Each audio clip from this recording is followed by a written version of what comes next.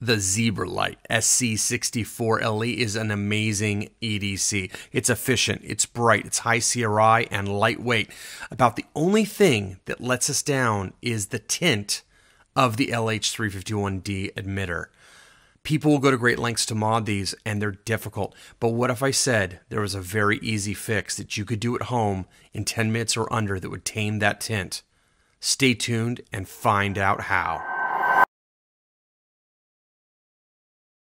Welcome back to Schullights, guys. I'm going to show you today how to tame the tint of your LH351Ds. So here I've got a stock SC64LE with the Samsung LH351D emitter, and on the right here, I've got the modified one. And if you can't tell the difference yet, don't worry, it is difficult to tell. But let me show you what's going on. If I take, and I, yeah, I got my video lights on here, but let's just go to turbo. So H1, they call it in Zebra language. And if I get a measurement here, you're going to see that on turbo, it's a little bit above 4000K and it whitens up. It's, it's pretty neutral. But if we go to a medium mode, and let me get on a medium mode and kind of get that in there. Notice that it's 36 points above delta UV on a medium or low, and that that's perceived as green, so it's not awesome. Now check this one out. This one right here. We're going to go to the same medium, do the same thing, and look at that. Dead neutral on medium. In fact, it's a little under neutral when I don't have the video lights on, but I'm just doing it quickly here for the sake of speed. Now on the H1, look at that negative 30. Wouldn't you like to know what I've done? Well, it's so simple, and you've probably heard of this before. I'm just using Lee Zircon minus green filters. And so we got two different versions of it here. We got the 804, which is a lighter version. You can see it's just a little bit pink against this white paper underneath it. And this is the 803, so it's a little bit more dense. They call these two densities. So the way that Lee minus green filters work is they're 801, 802, 803, 804, and, and the lower the numbers, 801 would be the pinkest, and 804 is a very light shade. And I found with the Zebralights here, the 804 works great. So let's see how this works. It is so dead simple that I think a lot of people are going to want to do this and want to buy one of the Zebralights. Basically, you just cut out a little square here and uh, here's, oh, you know what? Let me show you the mod really quickly before we even go into it. Okay, let me get a really good focus here. And if you caught this before, you just, you're an eagle-eyed viewer. You just really know what you're doing. Now check it out. This one is untouched. It's just plain glass. And this one has the filter installed. I'm going to zoom in on this so that you can see it really clearly and hopefully you can see now i didn't do a great application on this one on the right i actually rushed it because i didn't know what i was doing and i was just trying things out but basically and i'll just tell you now and then i'll show you how to do it you cut out a circle now the trick is how do you get the Lee filter to stay on without opening this light up and the answer is uv resin just a drop of uv resin put that little circle there hit it with uv light it sticks no problem. I've been using this in my pocket for a couple days now. It's not coming off. However, it is reversible. So if you want to reverse it, you can get your fingernail under there, kind of peel up the filter, and it kind of it kind of flakes off like it's flaky hard candy or something, and you can scratch the UV resin off. It is not permanent. So the way I like to do this, I got a couple tricks here for you to do it. You want an 18 millimeter circle, and an 18 350 is a perfect template. So just get one of these guys, line it up kind of under here, cut a square out. So let me start with that.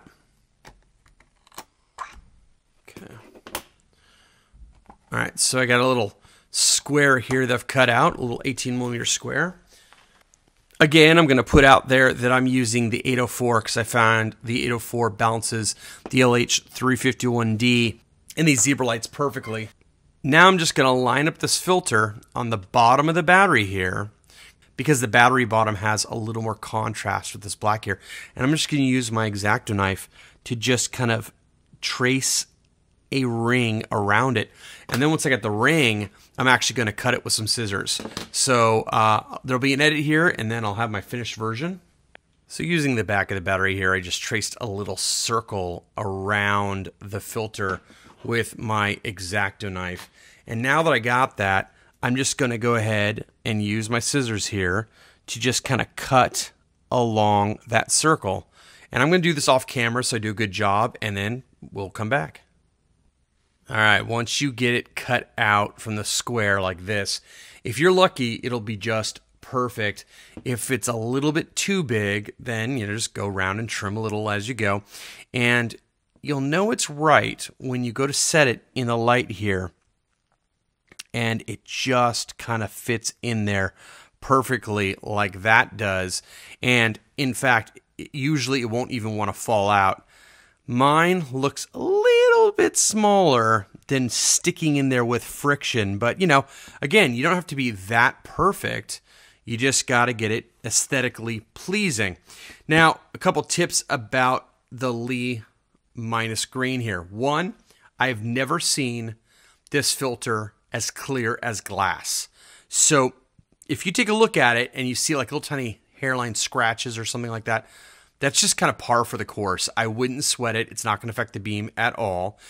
But here's another thing it is a kind of plasticky filter. So do not uh, use, you know, paper towel on here or anything like that. It will scratch it. And also, uh, so so if you do wipe it, wipe it with like a soft cloth like this. This one's actually gross. I wouldn't use this one, but you know, these microfiber cloths are great. And lastly, this filter tends to kind of melt a little bit if you use acetone or high alcohol content, like 90%, 99% isopropyl alcohol, it, will just kind of melt and, and kind of get gooey. So, again, um, you know, I would just say a hot breath, you know, water, condensation, and wipe it off with a soft cloth if you need to wipe it. So what we're going to do is we're just going to install it, and I'll show you. Hopefully, hopefully we'll do it one take here. Show you how easy it is. So I'm just going to set this right here for now because I don't want to pick up any particulate matter. We're going to use this stuff. Oh, I didn't even talk about it yet. All right, so this is UV resin. You can get this on Amazon for about 10, 11 bucks, something like that. And it's clear, and when you hit it with UV light, it just solidifies. Uh, this is what I use instead of Norland 61 for my tritium tubes. But uh, anyways, I'm just going to take this stuff here. I'm going to take that off for a second. And I'm just going to put a drop of this right on top of the lens. There you go, a drop like that. Now, I want enough that when I push down on the filter, it spreads out. It makes a laminar flow, you know, kind of no bubbles in between the resin and the filter. Now, I actually don't haven't done this too many times, so I don't know if that's enough. I hope it is. I don't want so much that I'm swimming in it. But here's the cool thing is if I mess this up when I go to put it on, if there's air bubbles and it's not enough UV resin, you can actually just pull it back out, wipe it off with like a like a you know paper towel on the lens here. Again, paper towel might scratch this, so be careful. But uh, and then try again. It is it remains liquid. It doesn't cure in the air or anything. It remains liquid until UV hits it. So I got that drop there, and I'm just going to drop this right on top.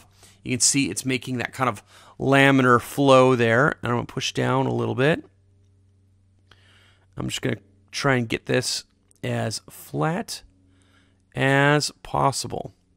Now, since I'm doing it on camera, it's hard for me to tell if I have zero bubbles. So I'm actually going to bring this over to my magnifying loupe and just make sure I got zero bubbles. And if I do, then, you know, I'll just come right back. Okay, I just checked and it looks great. I haven't done anything to it. I just looked under the magnifying loupe. It looks solid. So what I'm going to do is I'm going to make sure that my UV resin is capped and out of the way before I hit it with my UV light here. And you don't have to hit it for long. So I'm just going to boop like that and just, you know, hit there for maybe 10, 15 seconds on high. This is a really strong one. This one has uh, three LEDs in it. But uh, yeah, just about that long. And check this out. It's done. Totally done.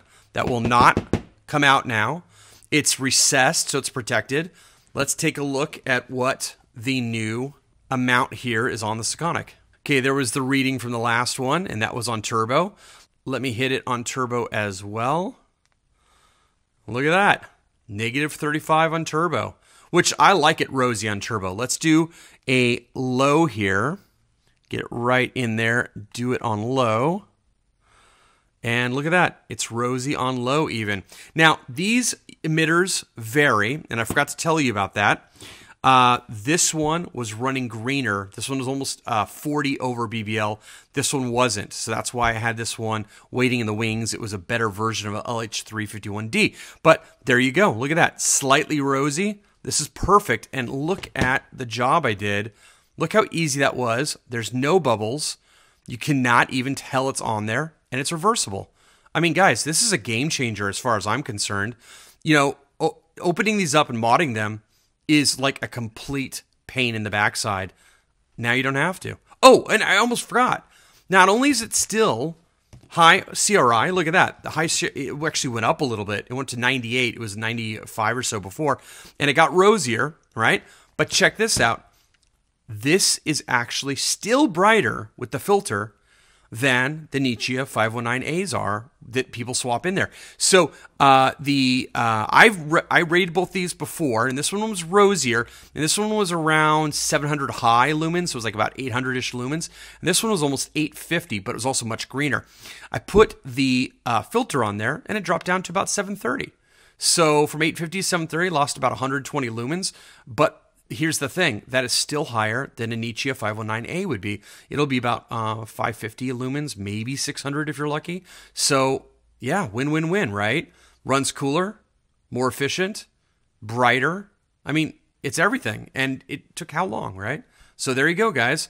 Go forth and make your perfect EDC with the Zebralight SC64 CLE and with a little Lee minus green filter, the Zircon 804. Thanks for watching, guys. Make sure you like and subscribe, and I'll see you in the next video.